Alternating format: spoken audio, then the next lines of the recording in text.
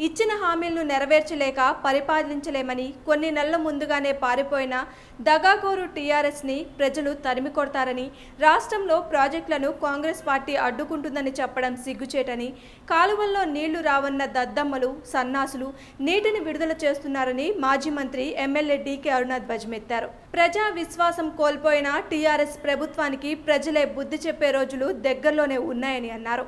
పాలమూరు రంగారెడ్డి ఎత్తిపోతల పథకాన్ని మూడేళ్ళలో పూర్తి చేస్తామని చెప్పి ఆ ప్రాజెక్ట్ పనులను పూర్తి చేయకుండా కాంగ్రెస్ పార్టీపై చౌకబారు ఆరోపణలు చేస్తూ తప్పించుకునే ప్రయత్నం చేస్తున్నారని అన్నారు. వట్టం వెంకటేశ్వర స్వామి సన్నిధిలో గట్టు మీద కుర్చీ వేసుకుని పనులు చేస్తామన్న కేసీఆర్ ఆ తర్వాత ఆయన జాడ కనిపించలేదని అన్నారు. భూములు తీసుకున్న నిర్వాసితులు కోర్టుకు వెళ్తే దాన్ని ప్రతిపక్షాలపై బురద చల్లడం ఎంతవరకు సమంజసమని ఆయన ప్రశ్నించారు. అధికారంలోకి రాకముందు బీజేపీ పార్టీ పెట్రోల్ ధరలపైన అనేక సార్లు మోడీ కాంగ్రెస్ యూపీఏ ప్రభుత్వంలో పెట్రోల్ ధరలు పెరిగినప్పుడు బీజేపీ పార్టీ అధికారంలోకి వస్తే పెట్రోల్ ధరలు తగ్గుతాయని చెప్పిన నేపథ్యంలో ఆ రోజు ఉన్నటువంటి బ్యారల్ ఇంటర్నేషనల్ లెవెల్లో మన రాష్ట్ర ప్రభుత్వం టిఆర్ఎస్ పార్టీ అధికారం ఉందని నాళ్ళు విపరీతంగా ప్రజలపైన భారాన్ని మోపి వాళ్ళని పీల్చి పిప్పి చేసినటువంటి నేపథ్యంలో ఆనాడు ఇచ్చిన మాటను నిలబెట్టుకోలేనటువంటి కేంద్ర ప్రభుత్వం మోడీ ఆ రోజు నూట ఇరవై రూపాయలు ఉన్నటువంటి అంతర్జాతీయ మార్కెట్లో నూట ఇరవై రూపాయలు ఉన్నటువంటి క్రూడ్ ఆయిల్ బ్యారెల్ అరవై తొమ్మిది రూపాయలు తగ్గిందంటే దాదాపు సగానికి తగ్గినటువంటి సందర్భంగా తగ్గాల్సినటువంటి పెట్రోల్ డీజిల్ ధరను తగ్గించకుండా ప్రతి నెలకు రెండు నెలకు పదహైదు రోజులకు రెండు రూపాయలు మూడు రూపాయలు పెంచుకుంటూ ప్రజలపైన విపరీతమైనటువంటి భారం వేసిన నేపథ్యంలో దానికి నిరసనగా ప్లస్ కాంగ్రెస్ పార్టీ దేశవ్యాప్తంగా కూడా ఈ భారత్ బంద్కు పిలుపునిచ్చినటువంటి మనం పొద్దున్న లేచి కొనే ప్రతి చిన్న వస్తువు పైన కూడా ఈ యొక్క డీజిల్ పెట్రోల్ ధరలు పెరగడం వల్ల రవాణా ఛార్జీలు పెరిగిపోవడం వల్ల దాని ప్రభావం ప్రతి ఒక్క వస్తువు పైన కూడా పడడం కూరగాయల దగ్గర నుంచి మొదలుకుంటే ప్రతి వస్తువు పైన కూడా భారం పడి ఈరోజు ఇదే మేము పరిపాలన చెయ్యలేము అని గద్దె గద్దె దిగినటువంటి నేపథ్యంలో మేము పరిపాలించే శక్తిని కోల్పోయినాము అనేటటువంటి వాళ్ళంతకు వాళ్ళే నేపథ్యంలో తెలంగాణ రాష్ట్రంలో తొమ్మిది నెలల ముందే ముందస్తు ఎన్నికలకు టీఆర్ఎస్ పార్టీ పోవడానికి ముఖ్యమైనటువంటి విషయం ఏదైనా మనం ఆలోచన చేస్తే టిఆర్ఎస్ పార్టీ ఎన్నికల సమయంలో ఇచ్చినటువంటి ఏ హామీలు నిలబెట్టుకోలేని పరిస్థితుల్లో వాళ్ళు ఇచ్చిన హామీలన్నీ కూడా వేల కోట్లు లక్షల కోట్లు కాగితాలకే పరిమితమైనటువంటి పరిస్థితుల్లో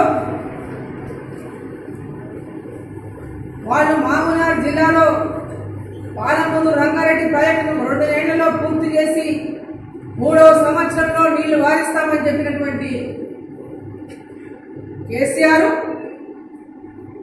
గత ఎన్నికల్లో నీళ్ళు నిధులు నియామకాలకు తిరోధకాలు ఇచ్చిన ఘనత కేసీఆర్కే దక్కిందని అన్నారు. కాంగ్రెస్ ప్రభుత్వం నిర్మించిన ప్రాజెక్టులను పూర్తి చేయలేని అసమర్థత ప్రభుత్వం టీఆర్ఎస్ ప్రభుత్వం అని అన్నారు. నెట్టెంపాడు ప్రాజెక్టు పనులను ప్రారంభించేటప్పుడు నీళ్ళు రావు కాలువల్లో పల్లేరుకాయలు మొలుస్తాయన్న సన్నాసులు నేడు కాలువలకు నీళ్ళు విడుదల చేయడం సిగ్గుచేటని అన్నారు. సెంటిమెంట్తో తెలంగాణ ప్రజల్ని మభ్యపెట్టే అధికారంలోకి వచ్చాక ప్రజా విశ్వాసం కోల్పోయి ప్రభుత్వాన్ని నడపలేమని కొన్ని నెలల ముందే కేసీఆర్ ప్రభుత్వం పారిపోయిందని అన్నారు. రాబోయే ఎన్నికల్లో కాంగ్రెస్ పార్టీ విజయ్ దుందుబి మోగిస్తుందని ఆమె ధీమా వ్యక్తం చేశారు.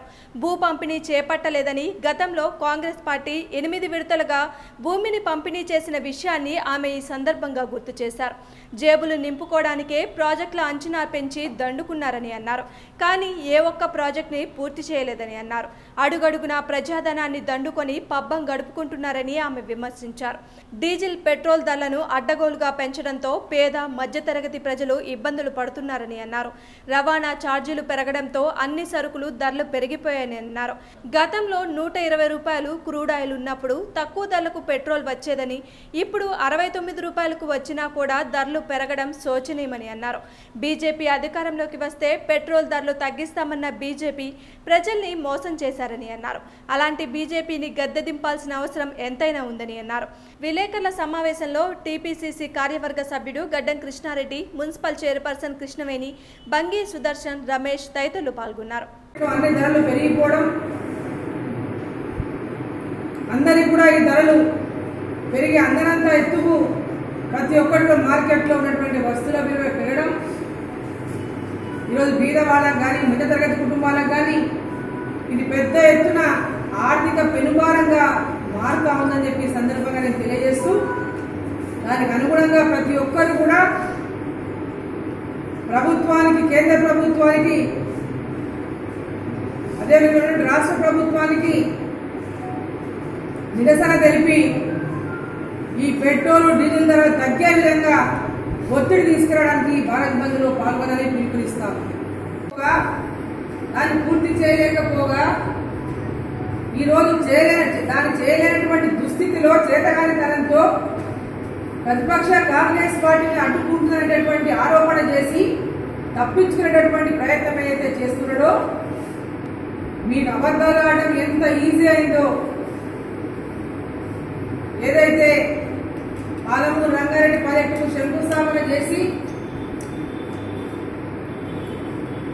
వల్లూరు కాడ వెంకటేశ్వర స్వామి దర్శనం చేసుకొని దానిలకు ఒక మార్కెట్లో కూడా బ్యారెల్ ధర నూట ఇరవై డాలర్లు ఉన్నప్పుడు అరవై ఎనిమిది రూపాయలు ఉన్నటువంటి అరవై ఎనిమిది రూపాయల యాభై మూడు పైసలు ఉన్నటువంటి పెట్రోలు. మరి పెట్రోల్ డీజిల్ ధర ఈరోజు అరవై తొమ్మిది రూపాయల డాలర్ ధర ఉంటే ఈరోజు అంతర్జాతీయ మార్కెట్లో క్రూడ్ ఆయిల్ బ్యారెల్ ధర అరవై తొమ్మిది రూపాయల పాయింట్ టూ డాలర్లు. తగ్గినప్పుడు కూడా ఈరోజు పెట్రోల్ ధరలు రేటు మండిపోతూ ఎనభై ఐదు రూపాయల ఇరవై మూడు పైసలు పెట్రోల్ ధర. డెబ్బై ఎనిమిది రూపాయల ముప్పై తొమ్మిది పైసలు డీజిల్ ధర.